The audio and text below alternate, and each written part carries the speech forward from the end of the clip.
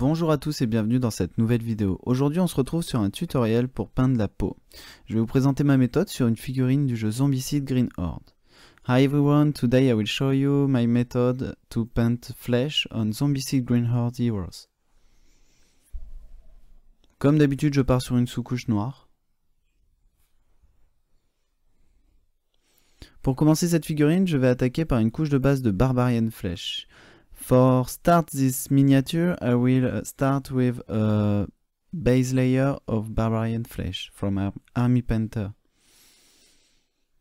Donc je commence par l'application de cette peinture très diluée. Je veille à ce qu'elle n'entre pas dans les trous et que ça reste un glacis très léger. Cette teinte va me permettre de baser et de préombrer ma figurine grâce à la sous-couche noire que l'on verra en transparence.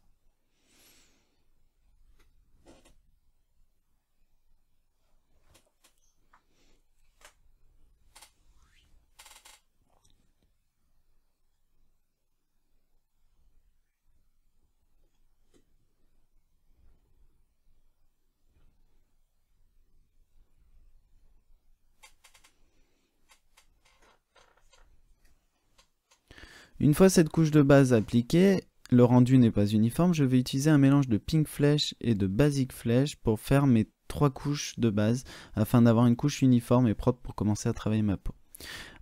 I will start this uh, flesh works by a mix of uh, pink flesh and uh, bright flesh or basic flesh from a scale color. I will apply this in a three layer to have a uniform layer uh, to start uh, to work on my flesh uh, contrast.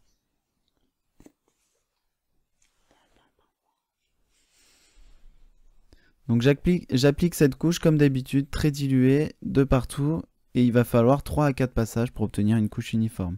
Je vous épargne euh, la répétition du travail, voilà le résultat après les 3 passages. This is the result after a free uh, base color. Now I will use a wash of Rayclan Flesh Shade.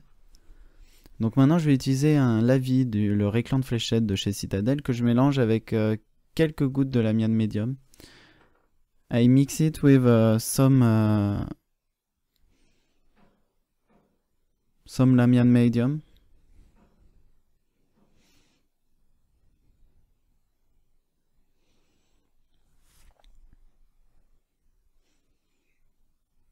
Donc je veille à bien l'appliquer de partout, en évitant bien sûr les, les amas de, de la vie dans certains creux. Donc voilà le lavis est sec, on va pouvoir commencer à travailler les premiers éclaircissements. My wash is dry, now I will start uh, to highlight my miniature. I will use golden flesh mixed with pink flesh. Donc je vais utiliser un mélange de Golden Flesh et de Pink Flesh, toujours de la gamme Scal. Et je vais commencer à dessiner les premiers volumes de ma figurine. Je charge très très peu mon pinceau afin de pouvoir commencer à placer mon dégradé et des couches très très fines.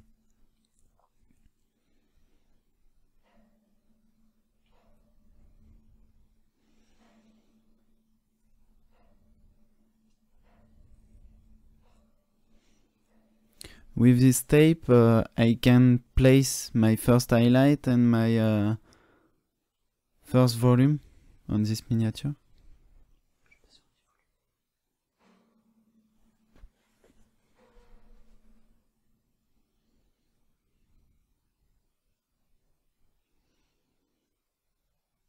Je vous ai laissé le travail pour vous montrer un peu le mouvement que j'effectue avec mon pinceau, ce petit mouvement de balayage vers la zone à éclaircir.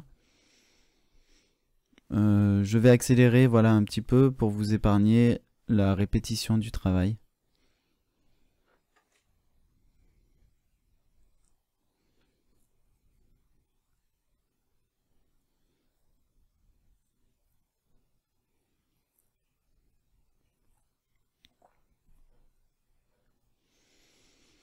Voilà le résultat après ces premiers éclaircissements, on commence à voir les volumes bien dessinés de la figurine.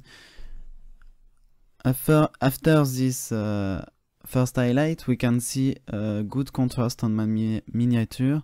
I will continue to push highlight with a light flash, pure light flash.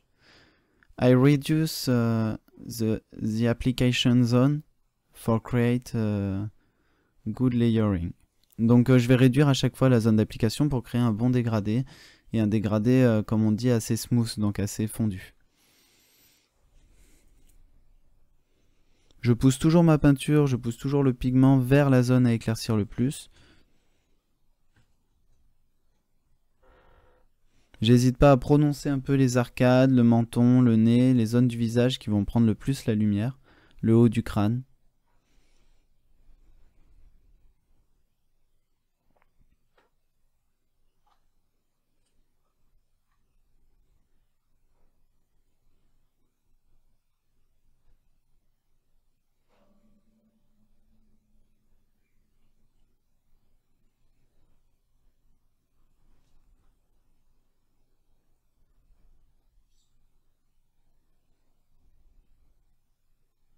Donc là, on commence vraiment à voir les volumes apparaître.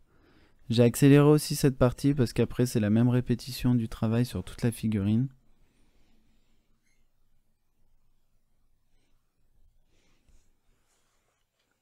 Donc après cette application d'éclaircissement, on va pouvoir commencer à travailler les ombres, toujours pour accentuer les contrastes.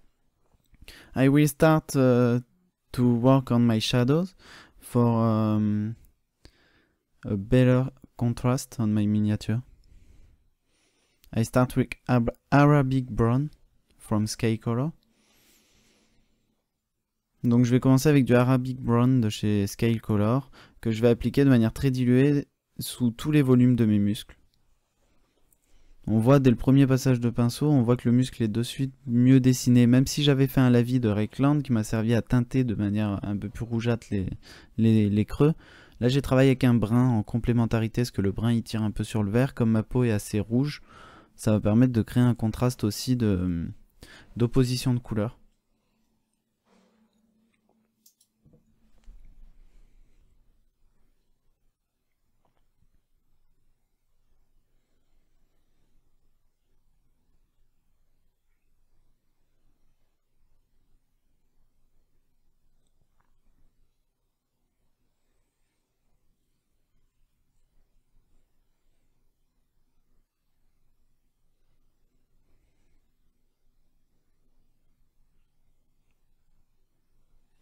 Maintenant, je vais utiliser du mauve funeste de la gamme euh, Valero sur certains creux pour euh, accentuer toujours le contraste de couleur, rajouter une teinte et avec cet enrichissement de teinte, en fait, je vais pouvoir prononcer le côté un peu fantastique de la peau de ma figurine.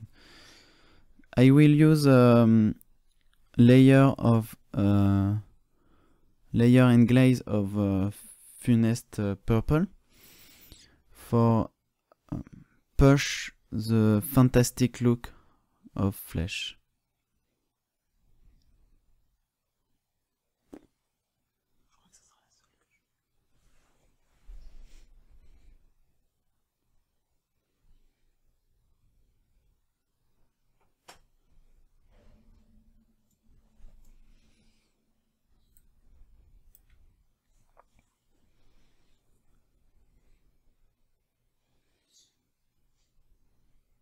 Donc voilà le résultat, c'est assez léger.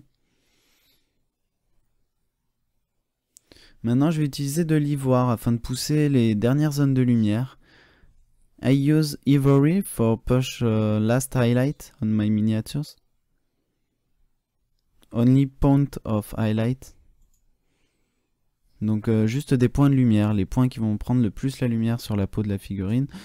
J'évite de repasser sur tous mes éclaircissements précédents, sinon je vais faire sauter toutes les étapes antérieures et du coup mon dégradé, ce sera plus un dégradé mais ce sera vraiment une superposition de couches bien distincte. Donc c'est vraiment important de vraiment, euh, à l'ivoire on va pousser vraiment les dernières lumières, les derniers muscles saillants, les pommettes, les arcades, le nez. C'est ce qui va améliorer la lisibilité de la figurine sur la table de jeu aussi.